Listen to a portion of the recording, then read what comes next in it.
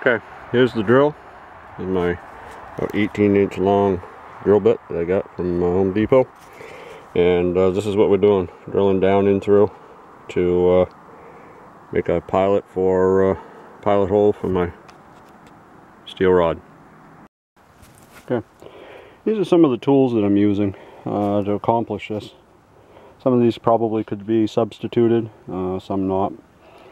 Obviously I got a drill, electric and uh, battery operated. I have a hand grinder, could use a bench grinder. Uh, have a uh, craftsman saw, got my chainsaw, and uh, I guess the one thing I do want to say before I go on to the next thing is when I calculated the cost of this, it was dependent on obviously having the trees available for free that I could cut on my land. Also, I have all the equipment uh, that I need, or I was able to buy it really cheap, uh, like the drill bits and what have you. So, if you have all the equipment and you're confident with it and competent with it, then uh, this can be a fairly inexpensive shelter. If you are not, uh, don't even try it because you could get hurt. And an example of that is, well, I have my ladder here. And I have the ladder set up so I can do this. Came up because I have to create some center supports.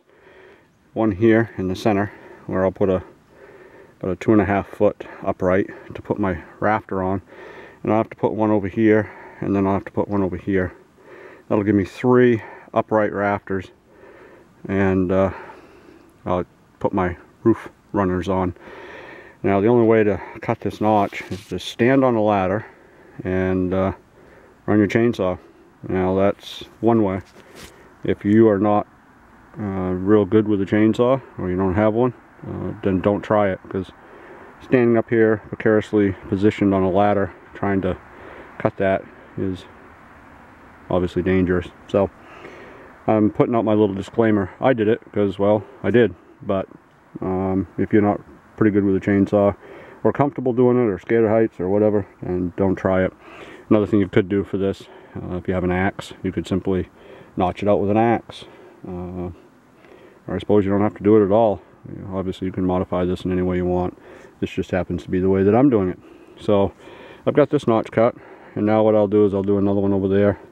I'll do another one over here. Obviously I'm, I put this one halfway between the two sides I'll measure that one out and this one out to, to match and then do the same thing over on the other side as you can see right there. I've done one in the middle and I'll do one on either side of it. And then I'll be running ready to run my rafters.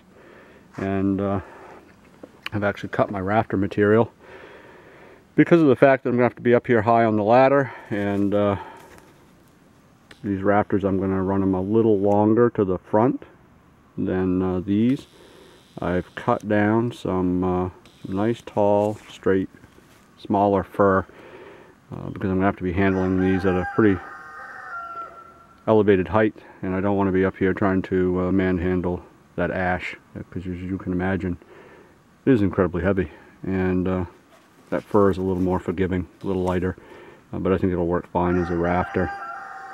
And, uh, and the rooster chiming in but that's uh, where we're at at this point. I'll cut some more notches and then uh, put up some uprights and then we'll be ready to set some rafters. Alright, what I'm going to do is uh, I'm going to use some sheet metal that I had. I just cut with some tin snips. And I'm going to uh, make some braces for these uprights. I don't want them to shift around and uh, I don't want to have to go buy any. So uh, I'm going to just use a good thick gauge metal that I had here to pop a few holes in it, use a good sized spike to start your hole. That'll uh, make it a lot easier once you're up on the ladder. And uh, just drive your holes a couple up high, a couple down low. And then I'll show you uh, in just a second what that looks like on there and how I use it to, uh, to brace the thing. Alright, we'll be back in a sec. Alright, this is what I did with that uh, piece of metal I showed you wrapped it right down around the bottom there put it in with a couple of nails on the top and then I did the same thing over on the back side so that uh, this thing isn't going to go anywhere good and solid and uh, that'll prevent it from twisting once I put my rafter across the two two pieces. Well, here we are. I put the rafters up before I did a video. Couple things I did. Um, I decided I wanted this overhang that as you can see comes out about five feet beyond the uh, front of the frame. When I decided I wanted that, I had already cut and placed these side beams.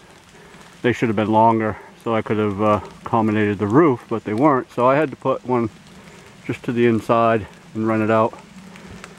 And as you can see, similar to the pictures um, of the one I used as a model, and uh, I just ran them out. I did use softwood because I could cut a few smaller pieces and they're a lot longer and a lot straighter and a lot lighter.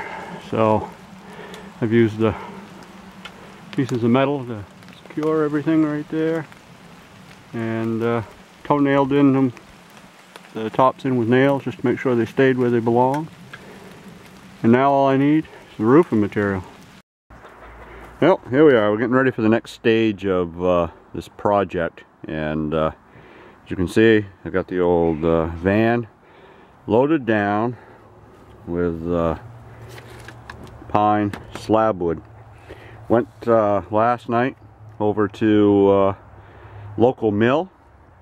And Bruce set me up in good shape. Gave me this entire load of slabs and told me I could come back for another round if I needed it uh, for 20 bucks. And you can't ask for cheaper roofing material than that. So uh, from this roofing material from these slabs we're going to construct a roof. So uh, it's a beautiful day. As you can probably see the sun is beaming in and uh, it's October 12th beautiful Sunday morning about 50 degrees out perfect for a day's work and uh, hopefully by the end of the day we have a roof. All right here we are up on the roof. This is kind of what I've done with uh, the slabs. I've put uh, my base layer down with curve up and uh, left a little space in between. Put my next layer up on top with the curve down.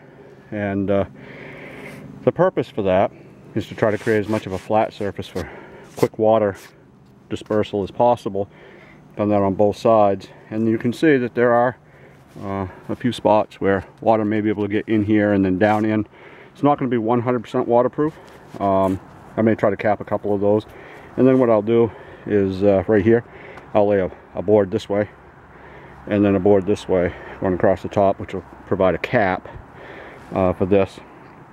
As I said this technique is uh, probably not going to produce 100% waterproof uh, roof but that's okay for my application. You know there's a million things you could do with this. You could put plywood on it. You could wrap Typar over the top of it when you're done. I mean there's a hundred different ways you could roof this depending on what you want for an appearance and what you want for cost. And if you have to have it 100% uh, waterproof for your application you can. But this is kind of what I'm doing. And uh, I'm working from this side over here back as I go because I do not want to get up on this roof once it's finished it's finished uh, minus my cap probably that'll be the only thing I'll have to get up here for at all I do not want to be crawling up on this thing and then trying to get off it on this kind of a slope and uh, breaking my neck. So that's why I'm going to do it as I go. And hopefully when I reach the front, I'll be finished. So I'll show you what it looks like when we're all done. Well, here's the building all put together.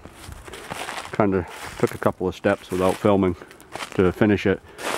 I uh, put the boards up around the outside edges.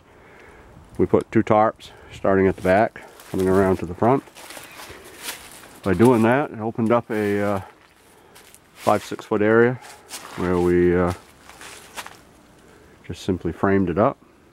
Put a, uh, hung a door and then a plain piece of plastic there to uh, let some light in. And as you can see, it's open to the top. On the uh, overhang here, we uh, use some rough sawn uh, pieces, create braces Did that on all four pieces. Because you can see that that's open so that as there's any smoke generated, it'll have a way to come right out. So then we'll come over here. See I moved a couple things in already. Of my buckets in here. And uh, stove that we'll work with. And uh, some stuff to back it. And so it looks like inside framed up.